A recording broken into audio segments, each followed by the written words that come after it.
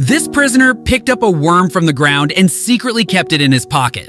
Then he put it on a hot iron, which burned the worm to ashes. After that, he put those ashes in the jailer's tea, which upset the jailer's stomach, and he had to go to the washroom. Taking advantage of this opportunity, the prisoner imprints the shape of a key onto the soap. But later, when the jailer finds soap on the key, he realizes that something is wrong. But at this point, the prisoner had already created a duplicate key, and just as he was about to open the lock with it, the jailer approached from behind.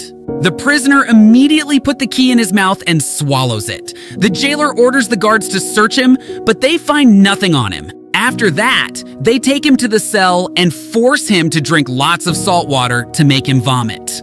But still, nothing comes out of his stomach.